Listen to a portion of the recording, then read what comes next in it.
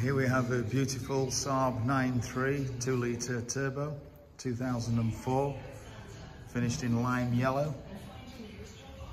Absolutely beautiful car, stunning condition wise. Uh, lovely service history and extremely low mileage. Um, lovely interior as well. It's got the grey two-tone leather interior in uh, extremely good condition. If you'd like a live video of this car, please don't hesitate to contact myself or Tom at the showroom and we can arrange this for you. Thank you.